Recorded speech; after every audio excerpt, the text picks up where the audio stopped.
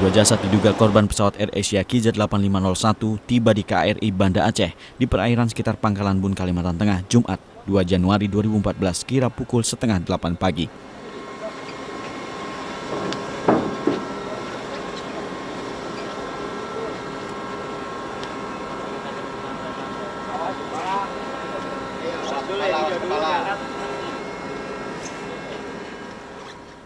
Kedua jasad masing-masing ditemukan oleh kapal BPPT Barunajaya dan kapal Diraja Lekir milik Malaysia sehari sebelumnya. Dari kapal Barunajaya dan KD Lekir, jasad sebelumnya dipindahkan ke KRI Yosudarso sebelum dijemput takbot ke KRI Banda Aceh.